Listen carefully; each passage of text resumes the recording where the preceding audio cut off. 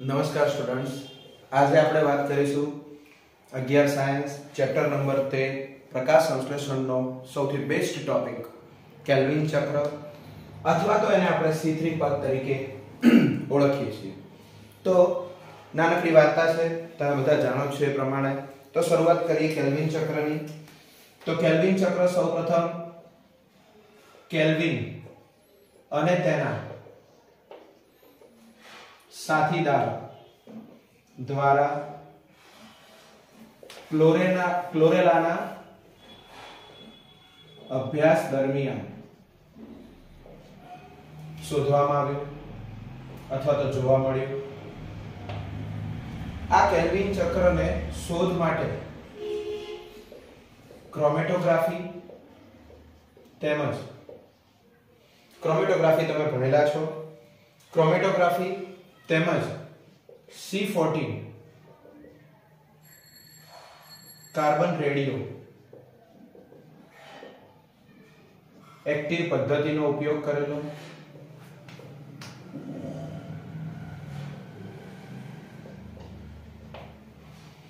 તો કેલ્વિન ચક્ર એક એવું ચક્ર છે કે જે ગ્લુકોઝ બનાવવા માટે જરૂરી છે. કોઈ પણ વનસ્પતિ હોય સી થ્રી પથ હોય કે સી ફોર પથ હોય.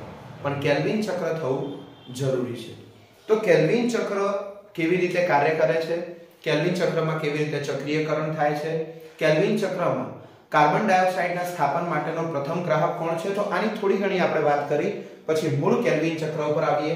તો CO2 નો પ્રથમ ગ્રાહક કોણ છે? આરયુબીપી રિબ્યુલોસ બાય ફોસ્ફેટ આમ કહીએ તો એવી રીતે કહી શકાય કે 1 5 રિબ્યુલોસ બાયફોસ્ફેટ રિબ્યુલોસ એ પેન્ટોસ શર્કરા છે. પાંચ કાર્બનયુક્ત જેના પહેલા અને પાંચમા કાર્બન ઉપર ફોસ્ફેટ જોવા મળતો હોય. તો CO2 રિબ્યુલોસ બાયફોસ્ફેટ સાથે જોડા જવાબદાર ઉત્સેચક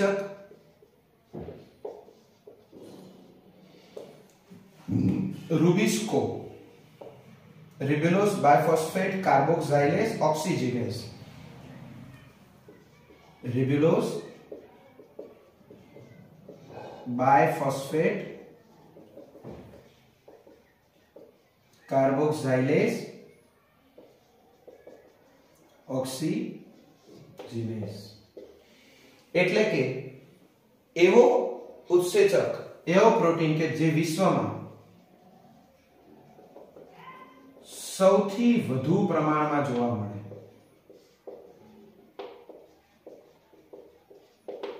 એવું કહેવાય છે કે આ વિશ્વમાં એટલી બધી સંખ્યામાં જોવા મળે છે કે મધ્યપર્ણ પેશીના કોષોની અંદર લગભગ એનું પ્રમાણ 16% જેટલું હોય છે. કઈ જગ્યાએ? મધ્યપર્ણ પેશીમાં એનું પ્રમાણ 16% જેટલું જોવા મળતું હોય છે. તો રિબ્યુલોઝ બાયફોસ્ફેટ કાર્બોક્સાઇલેસ ઓક્સિજિનેસ આનું કાર્ય શું હોય? તો ribulose bisphosphate carboxylase oxygenase carboxylation અને ઓક્સિજિનેશન. એટલે કે CO2 નું સ્થાપન પણ કરશે અને ઓક્સિજનનું સ્થાપન પણ કરશે. આ ઓક્સિજનના સ્થાપનની પ્રક્રિયા આપણે પ્રકાશ શ્વસનમાં ભણીશું. પણ મોટા ભાગે આપણે કાર્બન ડાયોક્સાઇડના સ્થાપનની વાત કરવાની.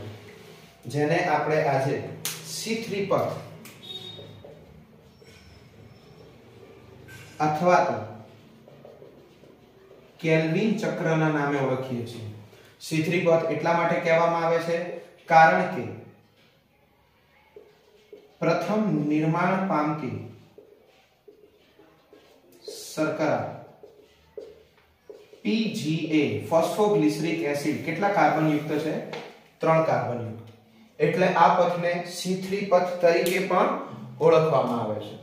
તો વિદ્યાર્થી મિત્રો તમારા મગજમાં આવી ગયું હશે, તેમ છતાં પણ ફરીથી એક વખત રિવાઇઝ કરી લઈએ. કેલ્વિન ચક્ર કેલ્વિન અને તેના સાથી દ્વારા ક્લોરેલાના અભ્યાસ દરમિયાન જોવા મળેલું ચક્ર છે. કેલ્વિન ચક્ર જે ક્રોમેટોગ્રાફી તેમજ C14 કાર્બન એક્ટિવિટી પદ્ધતિ કાર્બન ડેટિંગ પદ્ધતિ બી તમે ઘણા કહેતા હોય છે. પણ રેડિયો એક્ટિવ કાર્બન પદ્ધતિનો ઉપયોગ કરીને કેલ્વિન ચક્ર શોધવામાં આવ્યું. CO2 નો પ્રથમ ગ્રાહક RUBP છે. બરાબર? 15 રિબ્યુલોસ બાયફોસ્ફેટ એના માટે જવાબદાર ઉત્સેચક છે. વિસ્કો જે સૌથી વધુ પ્રમાણમાં વિશ્વમાં જોવા મળતું પ્રોટીન છે, મધ્યપર્ણપેશીમાં એની સંખ્યા લગભગ 100% જેટલું પણ જોવા મળતું હોય છે. રિબ્યુલોસ બાયફોસ્ફેટ કાર્બોક્સાઇલેજ ઓક્સિજનેસ કાર્બોક્સિલેશન અને ઓક્સિજનેશન એટલે કે કાર્બન ડાયોક્સાઇડ સ્થાપન અને ઓક્સિજન સાથે જોડાણ કરી. પાંચ કાર્બન યુક્ત RUBP રિબ્યુલોસ બાયફોસ્ફેટનું વિભાજન કરે છે, જે આપણે પ્રકાશ શ્વસનના ટોપિકમાં ભણીશું. પણ અત્યારે કાર્બન ડાયોક્સાઇડનું સ્થાપન જેને કેલ્વિન ચક્ર અથવા તો આપણે કયા નામથી ઓળખીએ છીએ? C3 પદ. C3 પદ એટલા માટે કહેવામાં આવે છે કે પ્રથમ નિર્માણ પામતી સ્થાયી શર્કરા PGA ફોસ્ફોગ્લિસરિક એસિડ ત્રણ કાર્બનયુક્ત જોવા મળે છે. તો હવે આપણે કેલ્વિન ચક્રમાં આગળ જઈએ. ઓકે તો હવે આપણે કેલ્વિન ચક્રમાં જઈએ. તો કેલ્વિન ચક્ર ત્રણ તબક્કામાં સમજાવવામાં આવ્યું છે. પહેલું, કાર્બોક્સિલેશન. બીજું, રિડક્શન. અને લાસ્ટ બટ નોટ લીસ્ટ પુનઃ નિર્માણ પુનઃ નિર્માણ કોનું તો આરયુબીપી રિબ્યુલોઝ બાયફોસ્ફેટ તો આપણે આપણી એનસીઈઆરટી ની બુક પ્રમાણે જોવા જઈએ. તો આ ત્રણે ત્રણ તબક્કા સમજવા એકદમ સરળ છે. બરાબર? તો ત્રણે ત્રણ તબક્કાને સમજવા માટે સૌથી પહેલા આરયુબીપી પાંચ કાર્બનયુક્ત યુક્ત 15 બાયફોસ્ફેટ રિબ્યુલોઝ ઓકે? તો આ આરયુબીપી પાંચ કાર્બનયુક્ત શર્કરા છે? પાંચ કાર્બનયુક્ત શર્કરા જ્યારે વાતાવરણના CO2 ના સંપર્કમાં આવે, ત્યારે 5 1 6 કાર્બન યુક્ત અસ્થિર સંયોજનનું નિર્માણ થાય. અહીંયા શેનું નિર્માણ થશે? અસ્થિર સંયોજન. જે કેટલા કાર્બન યુક્ત હશે? છ કાર્બન યુક્ત. છ કાર્બન યુક્ત અસ્થિર સંયોજનનું તરત વિભાજન થશે અને ત્રણ કાર્બન યુક્ત PGA ફોસ્ફોગ્લિસરિક એસિડ. જે કેટલા કાર્બન યુક્ત છે? ત્રણ કાર્બન યુક્ત ફોસ્ફોગ્લિસરિક એસિડના બે અણુનું નિર્માણ થશે. બરાબર? તો આ તબક્કાને આપણે કેલ્વિન ચક્ર અથવા તો C3 પદ તો પ્રથમ નિર્માણ પામતી સરકાર આ ફોસ્ફોગ્લિસરિક એસિડ, જે પ્રથમ સ્થાયી સંયોજન છે, જે ત્રણ કાર્બન યુક્ત છે, એટલે આપણે આ પથને C3 પથ તરીકે પણ ઓળખીએ. તો આટલો તબક્કો જ્યાં કાર્બન ડાયોક્સાઇડનું સ્થાપન થયું એટલે આ તબક્કાને કાર્બોક્સિલેશન તરીકે પણ ઓળખવામાં આવે છે. જે પ્રથમ તબક્કો છે, એના પછી શું થશે? તો એના પછી પીજીએ ના અણુ બે એટીપી અને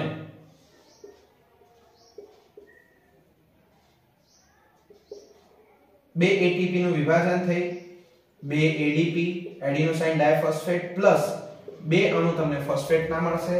એ દરમિયાન NADPH2 ના કેટલા અણુ? બે અણુ, ભેગા થઈને બે અણુ NADPH NADP તમને મળશે પ્લસ તમને અહીંયા હાઇડ્રોજન આયન મુક્ત થશે, જે રિડક્શનની અંદર વપરાશે.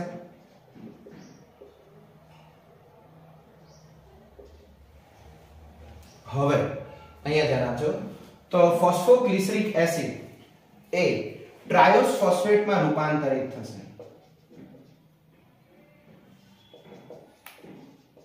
અને આ ટ્રાયોસ ફોસ્ફેટ ફ્રુક્ટોઝ તેમજ અથવા તો ગ્લુકોઝ જેવી શર્કરાનું નિર્માણ થશે બરાબર? ફ્રુક્ટોઝ તથા ગ્લુકોઝ જેવી શર્કરાનું નિર્માણ થશે. હવે વધેલી ટ્રાયોસ શર્કરા એટલે કે અહીંયા સુધીનો ટોપિક, જે કેલ્વિન ચક્રનો બીજો તબક્કો, જેને કયા નામથી આપણે ઓળખીએ છીએ? રિડક્શન. જ્યાં પીજીએ નું રિડક્શન થયું અને ટ્રાયસ ફોસ્ફેટ બન્યા. ટ્રાયસ ફોસ્ફેટ એ ફ્રુક્ટોઝ અથવા તો ગ્લુકોઝનું નિર્માણ કરશે અને આ ટ્રાયસ ફોસ્ફેટમાંથી ફરીથી આ ટ્રાયસ ફોસ્ફેટમાંથી ફરીથી જ્યારે આરયુબીપી નું નિર્માણ થાય, આ ત્રીજા નંબરનો તબક્કો જેને પુનઃ નિર્માણ તરીકે આપણે ઓળખીએ છીએ. અને આ પુનઃ નિર્માણના તબક્કામાં એક એટીપી વપરાતો હોય છે. એક એટીપી વપરાશે, એક એડીપી પ્લસ ફોસ્ફેટ મુક્ત થશે. મુક્ત થતો ફોસ્ફેટ એ ફરીથી આરયુબીપી ના નિર્માણ સાથે જોડાય. તો ફરીથી આપણને આરયુબીપી મળી જાય. એટલે કે આપણી બુક પ્રમાણે રિબ્યુલોસ બાયફોસ્ફેટ વાતાવરણમાંથી પ્રવેશતા કાર્બન ડાયોક્સાઇડ સાથે જોડાય જેના માટે જવાબદાર ઉત્સેચક છે રુબિસ્કો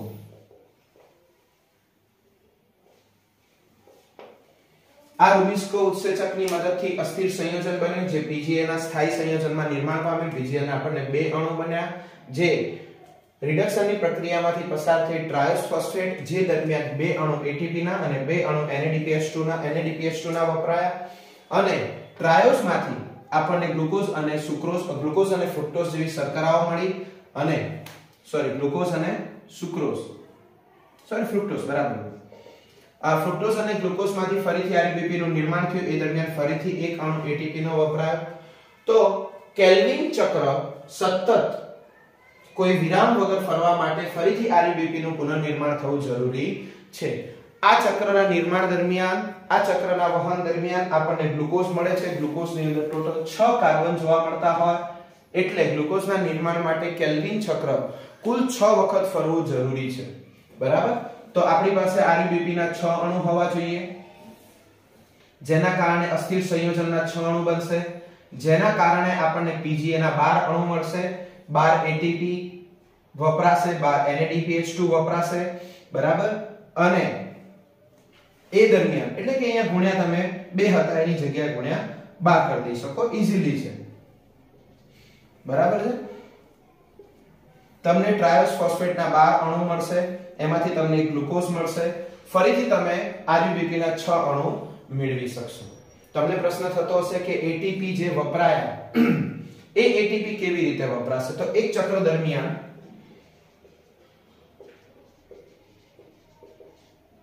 ત્રણ એટીપી અને બે NADPH2 નો વપરાશ થાય.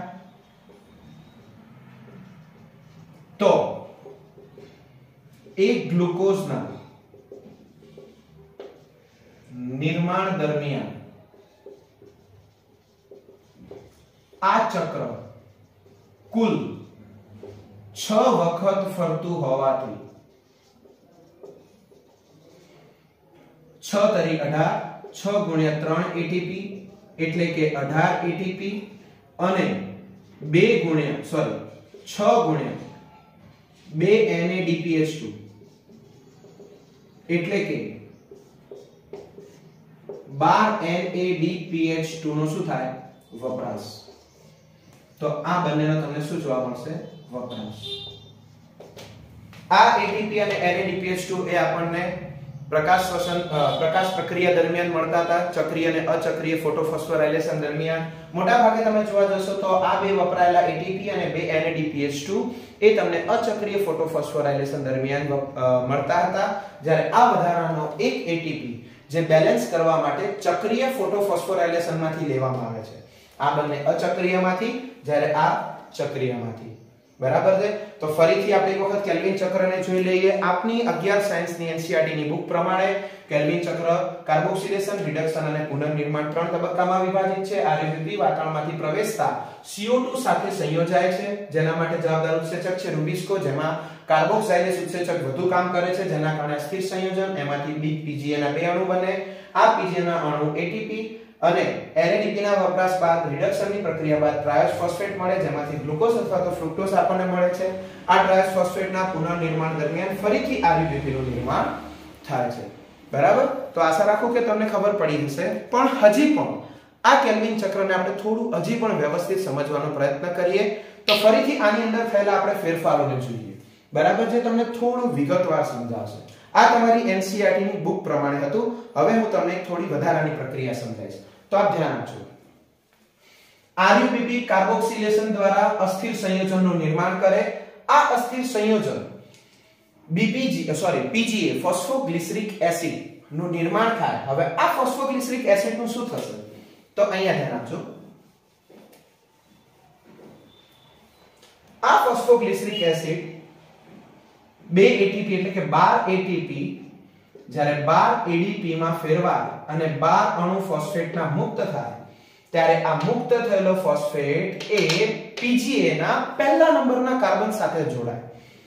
આ 3 પીજીએ છે, ત્રણ કાર્બન યુક્ત 3 પીજીએ બરાબર? તો અહીંયા તમને એક સંયોજન મળશે, જેનું નામ છે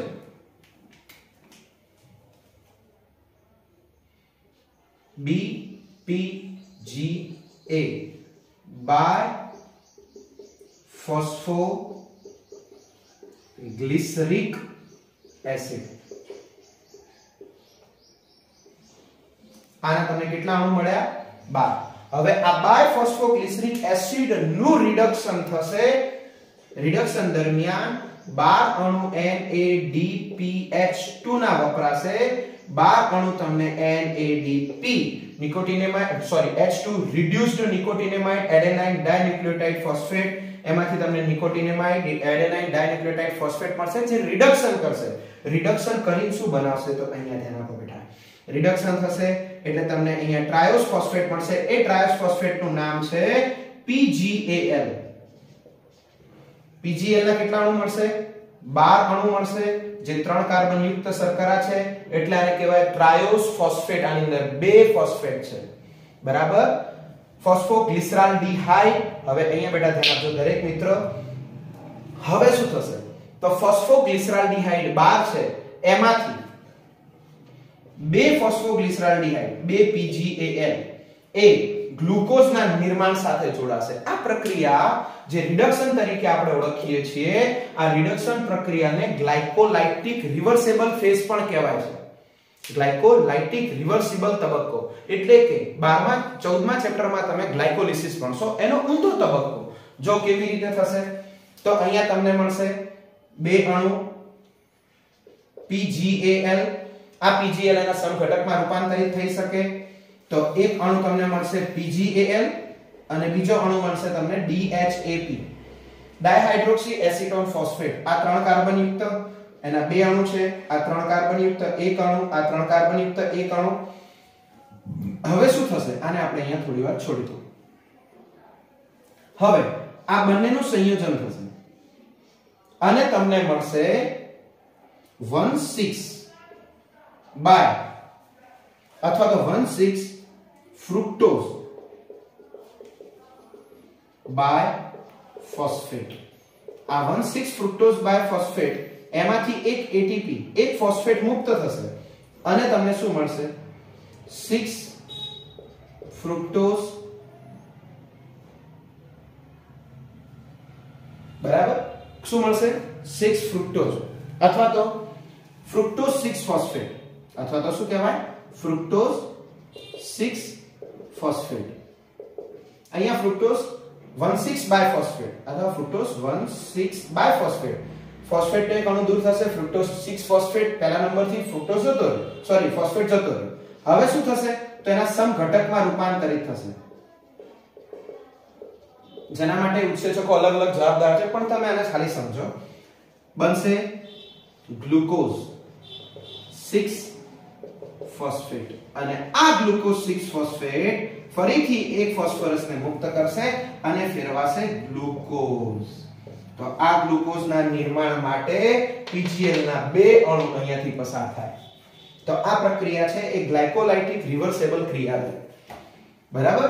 ગ્લાયકોલાઇટિક રિવર્સેબલ પ્રક્રિયા તમે ચેપ્ટર આની આ ઊંધી પ્રક્રિયા કરી નાખો એટલે ગ્લાયકોલિસિસ થઈ જશે. ચેપ્ટર નંબર 14 ની અંદર આગળ ભણીશું. ઓકે તો અહીંયા PGAL ના કેટલા અણુ અહીંયા દાખલ થશે? તો PGAL ના બે અણુ ગ્લુકોઝના નિર્માણમાં જશે. ત્યારે વધેલા 10 PGAL ના અણુ. એ પુનઃ નિર્માણના તબક્કામાં દાખલ થશે. હવે 10 PGAL જેની શર્કરાઓ કેટલી છે? 3 કાર્બન યુક્ત તમે ગણતરી કરી શકો 3 ગુણ્યા 10 એટલે 30 કાર્બન આપણી પાસે છે અને RUBP કેટલા છે? 5 સોરી 6 6 50 30 અહીંયા પણ 30 પણ પુનઃનિર્માણની અંદર વચ્ચે બીજી બીજી ઘણી પ્રોડક્ટો બને છે. એમાંની એક પ્રોડક્ટ આપણે સરળતાથી સમજવાની છે. તો 10 પીજીએલ ના અણુ એક ઘણી બધી લાંબી પ્રક્રિયામાંથી પસાર થાય. તમને શોર્ટમાં સમજાવું તો 10 પીજીએલ ના અણુ પાંચ કાર્બન યુક્ત ઝાયલ્યુઝ ફોસ્ફેટમાં રૂપાંતરિત થાય જે કેટલા કાર્બન યુક્ત છે? 5 અને આ ઝાયલ્યુઝ ફોસ્ફેટ એના સમઘટક શેમાં રૂપાંતરિત થશે? રિબ્યુલોઝ ફોસ્ફેટ આ રિબ્યુલોઝ ફોસ્ફેટ પાંચ કાર્બન યુક્ત. અને આ રિબ્યુલોઝ ફોસ્ફેટ ફોસ્ફોરીકરણ પામે. અને ફોસ્ફોરીકરણ પામે એટલે શું વપરાશે? એટીપી વપરાશે અને શું મુક્ત થશે? એડીપી પ્લસ ફોસ્ફેટ આ મુક્ત થતો ફોસ્ફેટ રિબ્યુલોઝ ફોસ્ફેટ સાથે જોડાશે અને શેનું નિર્માણ કરશે? 1,5 રિબ્યુલોઝ બાયફોસ્ફેટ આ 1,5 રિબ્યુલોઝ બાયફોસ્ફેટ ફરીથી આપણને મળી ગયા. જે પાંચ કાર્બન યુક્ત છે જેના આપણને ટોટલ કેટલા અણુ મળશે? આના ગુણ્યા 5 સોરી પાંચ કાર્બન યુક્ત ગુણ્યા 6 ગુણ્યા 6 ગુણ્યા 6 એટલે રિબ્યુલોઝ બાયફોસ્ફેટના આપણને ફરીથી 6 અણુ મળી ગયા. ફરીથી એક નવા ગ્લુકોઝના નિર્માણ તરફ કેલ્વિન ચક્ર આગળ વધશે. ઓકે આ પ્રક્રિયા થોડી અઘરી છે. આનાથી પણ અંદર ઘણું બધું ડીપ છે, જેમાં સાત કાર્બન યુક્ત શર્કરા ચાર કાર્બન યુક્ત શર્કરાનું નિર્માણ થાય. એ પ્રક્રિયાઓ વધુ ડિટેલમાં છે. આપણે વધુ ભણવું હોય તો મારો કોન્ટેક્ટ કરી શકો છો. મારું નામ છે રવિ અખાણી. હું ડીસામાં જ ભણાવું છું. ગુજરાતી અને ઇંગ્લિશ મીડિયમ બંનેના વર્ગ ચલાવું છું. ઓકે થોડા સમય પછી ઇંગ્લિશ મીડિયમનો ફરીથી આ લેક્ચર તમને પ્રોવાઈડ કરીશ આશા રાખું કે તમે શાંતિથી સમજી ગયા છો કોઈ પણ તકલીફ હોય તો તમે મારો કોન્ટેક્ટ કરી શકો છો રવિ અખાણી 9427407171 ઓકે તો ભારત માતા કી જય જય હિન્દ